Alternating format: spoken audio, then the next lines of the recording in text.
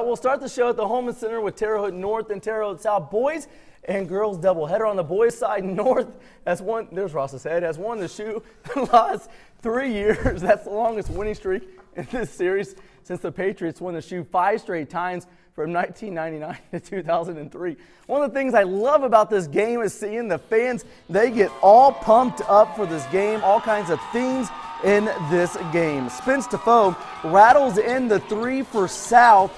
Braves down just one. Nate John came to play for North tonight. The senior point guard, money on the three. Second quarter, John gets the friendly bounce behind the arc. He had 14, play one of the best games of his high school career. North would build a nine point lead, but South would rally back.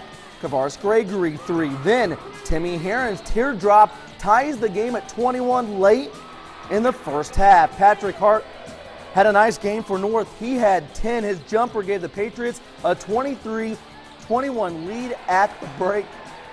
Heron ties the game early in the second half. The Braves big man led South with 10. Calvin Blank answers for North. Nice left hand take and one. Blank was pumped up. That was part of a 7 0 North run. Heron scores off the Kavaris Gregory pass. South on 36 35, just over five to go. Upset brewing. North has 10 seniors to expect them to step up, and they did. Patrick Hart puts North ahead for good. Off the out of bounds play, it's Blank. I've said this a thousand times. He's a man child, absolutely unstoppable. Blank, a game high, 21 points.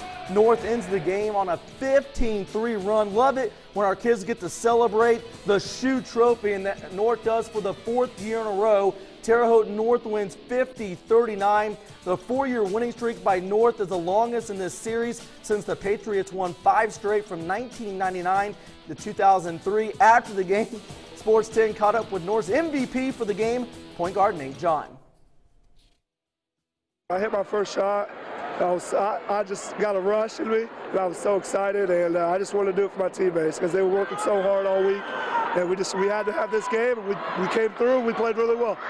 Not many people at Terre Haute North can say they beat Terre Haute South for the shoe four years in a row, and class of 2013 did that. I played in four shoe games and won four. I mean, just the just the total team effort in these guys. I love these guys, and it's great to win four shoes with them.